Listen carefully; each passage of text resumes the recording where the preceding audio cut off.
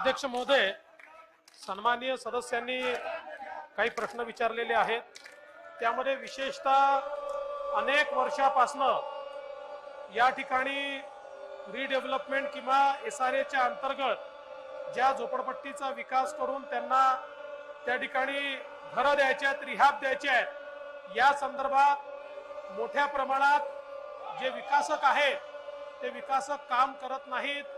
अशा प्रकारचा विषय त्यांनी मांडलाय आपण अत्यंत त्वरेनं अशा विकासकांवर कारवाई करू आणि त्याचसोबत या सगळ्या लोकांना नवीन विकासक नेमण्याची त्या ठिकाणी निश्चितपणे परवानगी दिली जाईल. त्यासोबत त्यांनी जे सांगितलं एच पी सी मध्ये वेळ लागतो. जरूर एच पी सी लाही सूचना देण्यात येतील की अशा प्रकारचे जे प्रलंबित अशा प्रकारचे प्रकल्प आहेत ते तात्काळ त्यांनी निकाली काढावे. याच्यामुळे फार काळ हिअरिंग चालणार नाही. अशा प्रकारचा प्रयत्न देखील आपण करू. यासोबत कमलानगर आदी राज्य सरकारच्या जमिनीवरचे जे प्रकल्प आहेत त्याच्या सर्वेक्षणाचे आदेश देण्यात येतील. यासोबत रिहॅबच्या संदर्भात जर आपण एकाच वर्षात विकण्याची परवानगी दिली तर नव्याने झोपडपट्टी तयार होईल. त्यामुळे त्या संदर्भात नवीन धोरण आपण निश्चितपणे तयार करू.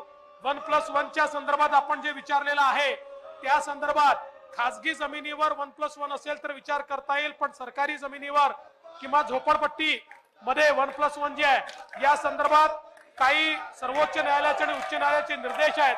त्या निर्देशाचं पालन आपल्याला करावं लागेल. त्याच आधारावर त्या संदर्भातली कारवाई आपल्याला करता येईल.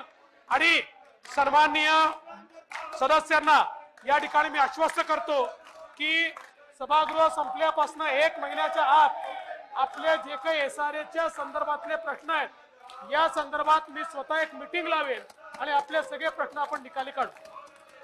जे तीन वर्ष होऊन गेलेले आहेत आणि ते काम करत नाही तर त्यांना ताबडतोब ते रद्द करणार काय एक परस्पर ज्या एरियामध्ये एस आर चालू आणि त्याच्या बाजूला जे स्लम आहेत त्याला स्लम डिक्लेअर करण्याचं बंद झालेलं आहे गेल्या पाच वर्षापासून.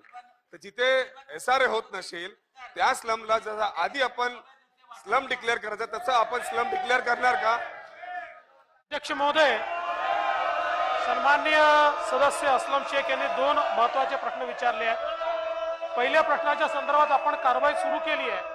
तीन वर्षापेक्षा जास्त ज्यांनी त्या ठिकाणी कन्सेंट घेतले आहेत पण काम करत नाही आहेत. ज्यांनी काम सुरू केलं आहे, काय आपल्याला माहिती आहे काही टप्पे असतात. एन्व्हायरमेंटमध्ये अडकलेलं असेल किंवा अशा काही गोष्टी असतील तर त्याला पण ज्यांनी काहीच केलं नाही अशाला मात्र आपण रद्द निश्चितपणे त्या ठिकाणी करू. आणि बाजूच्या झोपडपट्टीच्या बाजूला स्लम असेल आणि त्याचं नोटिफिकेशन जर निघालं नसेल तर तशा प्रकारच्या सूचना या महापालिकेला देण्यात येईल